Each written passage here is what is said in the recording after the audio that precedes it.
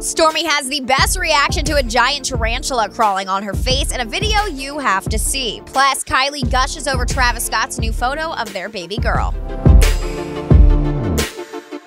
Hey guys, it's Allie for Hollywood Life, and on Sunday's episode of Keeping Up, Kris Jenner responded to rumors that she once had a fling with OJ Simpson, calling the reports tasteless and disgusting. It's really kind of pathetic that when rumors get started, the media gives it life and breath. And on the anniversary of Nicole's death, it's so tasteless and disgusting.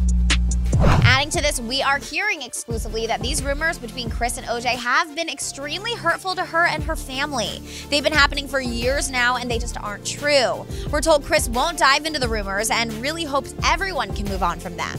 We're also hearing the family is most concerned about how the rumors are affecting Nicole Simpson's kids. They find it heartbreaking that people aren't taking their feelings into more consideration. And speaking of feelings, Kylie Jenner and Travis Scott have been very mindful of Stormi's.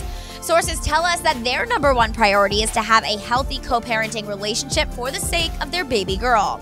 They've been hanging out a lot and even celebrated Halloween together. And even though they're split up, they still want to make fun memories as a family together. We're also told Kylie would never want to keep Stormi away from her dad and knows it's important their daughter has both parents in her life. On to more Stormi news, Travis uploaded this picture of her to the gram caption going to music class, then I'ma come back for the pool daddy.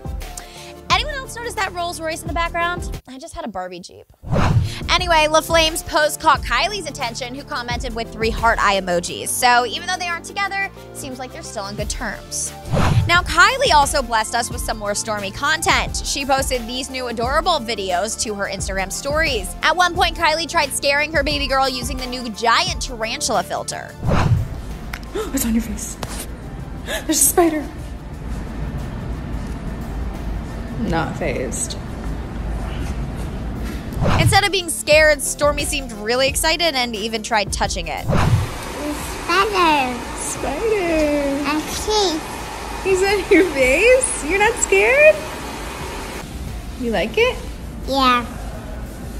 Oh, what a chill baby. But all right, guys, hit that sub, like, and bell button for all the latest Kar Jenner news. Don't forget to follow me on social media at Allie Stagnitta and let us know if you've tried the tarantula filter.